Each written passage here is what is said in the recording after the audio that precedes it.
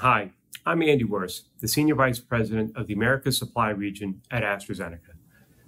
Our AstraZeneca Global Operations team has more than 14,000 colleagues working at 25 production facilities with over 170 suppliers in our network. With the world around us rapidly changing, we're evolving our network and our technology and our capabilities to deliver more medicines to more patients more quickly. This means we're evolving the internal and external supply networks.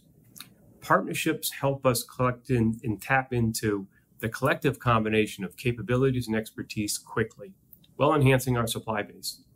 Collaborations accelerate our innovation while sharing the risks and benefits. However, new technology and advanced networks will only be successful if our people are properly trained. We're working with NIIMBL and other partners to cultivate the next generation of talent and bring in diverse perspectives, diverse skill sets, and diverse experiences. We know there are going to be challenges in our industry in the years ahead. Uh, there will be more volatility in demand, shifts in raw materials, and even tighter supply chains. Collectively, we can scenario plan to make sure our workforce is prepared to shift capacity and production as needed.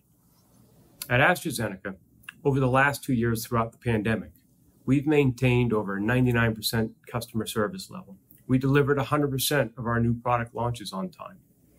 And all of our new product development efforts are on track.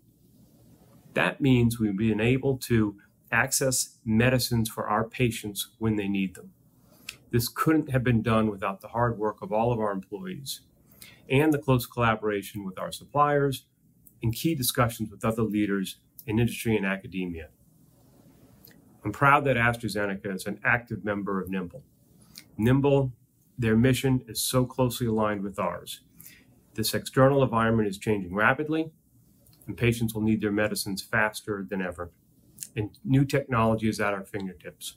We need to make sure that our network and our people are prepared for today and for the future. By working together, to drive innovation forward, this type of collaboration is where we need to invest our time. Thank you.